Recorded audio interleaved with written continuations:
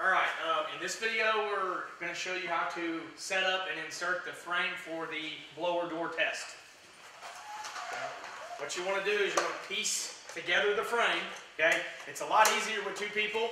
Um, you can do it with one person. Uh, we suggest that you get a big open workspace to actually set up the frame because as you can see here, the frame, after it's assembled, is pretty large.